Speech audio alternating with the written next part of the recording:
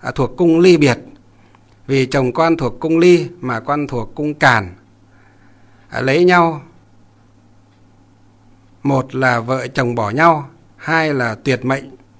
Hiện tại chúng con mới cưới được gần 3 năm. Hiện tại chúng à, con mới cưới gần à, được gần 3 năm và đã có cháu trai 2 tuổi. Từ lúc đi xem về con rất hoang mang lo lắng vì chúng con không ai muốn đứt gánh giữa đường con mong thầy hoan hỷ chỉ bảo giúp con phải làm gì để hóa giải cung ly biệt đó để và để vợ chồng con được hạnh phúc bình an. Con xin thầy giúp vợ chồng con con cảm ơn thầy. Chồng sinh năm 91 91 vợ cũng 91 đúng 91 thì phong thủy thì 100 trừ 91 thì còn 9 à, nhân với 99 đúng rồi cung ly.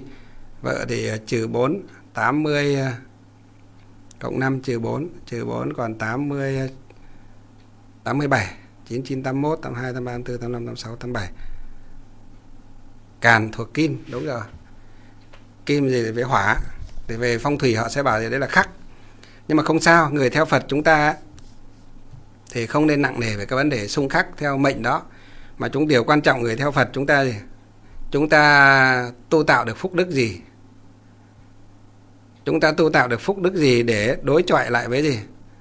Với cái uh, ác nghiệp mà chúng ta đã gieo trồng nhiều đời nhiều kiếp về trước cho đến nay. Đây là điều quan trọng nhất. Nếu chúng ta gieo được nhiều nhân lành thì chắc chắn chúng ta sẽ có gì? Sẽ có nhiều quả thiện ở ngay cuộc đời này và kiếp tương lai. Thì chúng ta không sợ gì là gặp cung ly. Tức là cung ly biệt đó. Mà thầy nghĩ rằng là gì? Hai vợ chồng nếu mà lo lắng thì từ bây giờ trở đi đừng có đi đi xem làm gì nữa. Các cụ ngày xưa đi nó nói là gì? Đi bói ra ma quét nhà ra rác. Chả có ai đi bói mà xem bói mà không ra ma cả. Chẳng có một ai quét nhà mà gì mà không không ra rác cả. Cho dù quét đi quét lại năm ba bảy lần gì thậm chí nhiều hơn nữa thì những lần sau vẫn cứ thấy rác vẫn cứ thấy bụi nó bay mù mịt lên gì. Nó đỡ đi thôi chứ vẫn có nó vẫn bay mù mịt lên. Đó. Tất cả những người đi đến cửa phố, cửa điện của ông thầy đồng ông thầy phù thủy vân vân đó để xem đó, thì không có một ai là gì là họ phán là không có cái gì cả sạch sẽ cả. Mà đều gì? Hoặc là ma hoặc là quỷ hoặc là vận hạn này khác và họ bảo là chuẩn bị làm cho cái lễ hỏi lễ bao nhiêu. Ít thì cũng năm bảy triệu chục triệu nhiều thì vài chục triệu mà nặng có thi thì xem mặt đặt tên nó bảo cho một vài trăm triệu nữa cơ. Đốt vàng mã vô số. Sát sinh hại vật không thương tiếc như trong kinh địa tạng nói làm như thế không chỉ có lợi mà gì còn có hại vào thân, vào thân nữa. Có hại cho chính bản thân mình và gia đình của mình nữa. Vì làm tổn phúc mà. Đốt vàng mã tức là gian dối. Và sát sinh hại vật để tế bái quỷ thần đó chủ mệnh quỷ vương nói làm như thế thì không có lợi ích gì cả. Ngược lại còn chuốc họa vào thân. Đó. Chủ mệnh quỷ vương cai quản cái việc gì sinh tử của thế gian. Nói như vậy ở trong kinh bản nguyện của bồ tát địa tạng các vị đọc tụng sẽ thấy cái điều đó. Cho nên ở đây á thì thầy khuyên à, đôi vợ chồng này, bây giờ đừng có nặng nề về cái chuyện là cung ly là ly biệt, vân vân này khác nữa. Mà bây giờ quan trọng nhất là hai vợ chồng nên à, thỉnh kinh địa tạng về mà đọc tụng hàng ngày. Thỉnh cái băng giảng có kinh kinh địa tạng về hoặc lên mạng mà cóp về cho vào cái thẻ nhớ trên điện thoại mà nghe hàng ngày. Và khi mà nghe một vài lần mà hiểu được rồi, thầy nghĩ rằng vợ chồng sẽ không còn nghi ngờ gì nữa và vợ chồng sẽ tin chắc 100% là gì? hạnh phúc là do chính con người chúng ta gì? Tạo ra tạo ra. Chính do vợ chồng mình gì? Gây tạo nên. Sự chia tay hay sự gì? Hay sự gắn bó với nhau đến đầu bạc răng long cũng chính do gì? Vợ chồng mình là gì? Gây dựng và tạo nên. Đó. muốn có trường thọ thì phát tâm phóng sinh tu phúc. Muốn cái giàu sang phú quý thì nên nên bố thí cúng dường.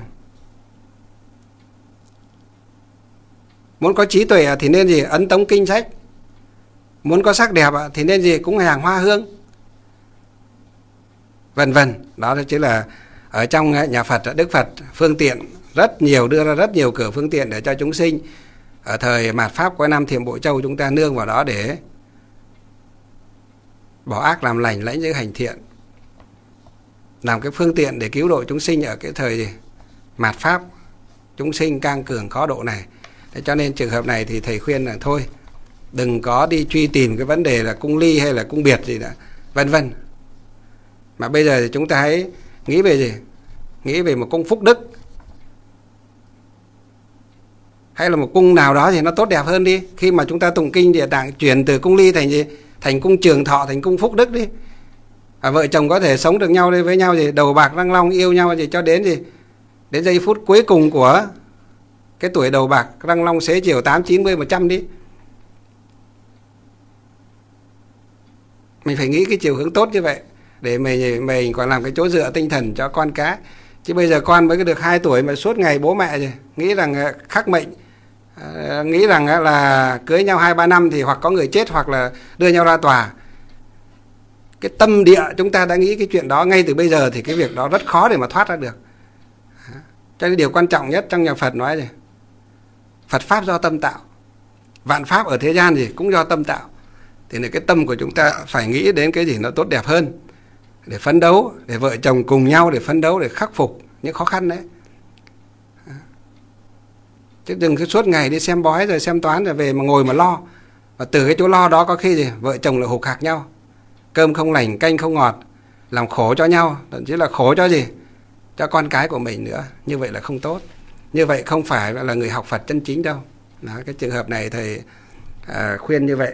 Nên à, cố gắng thực hiện thỉnh kinh Phật và băng à, giảng kinh địa tạng về mà nghe cóp về mà nghe. Nghe được khoảng độ vài lần thì tự nhiên vợ chồng sẽ vỡ ra thôi. Và mình sẽ hiểu rằng mình sẽ là chủ nhân ông của cái nghiệp chính bản thân mình gây tạo ra. Cho nên à, sống hạnh phúc hay là bỏ nhau đứt gánh giữa đường hay là gì hay là được chung sống với nhau hạnh phúc đầu bạc răng long do chính vợ chồng của các quý vị đó, chứ không phải do một đấng thần linh nào ban phúc giáng họa cho các quý vị đâu. Hành... Nguyện đem công đức này trang nghiêm Phật tịnh độ trên đền bốn trọng ân, giới cứu ba đường khổ nếu có ai thấy nghe, đều phát tâm bồ đề. Hết một báo thân này, đồng sinh về cực lạc. Nam mô tây phương cực lạc, thế giới đại từ đại bi, tiếp dẫn đạo sư a di đà phật.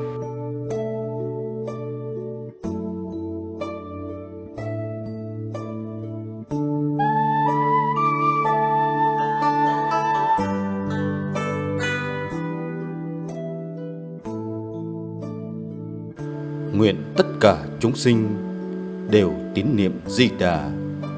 Đồng cầu sinh về nước cực lạc.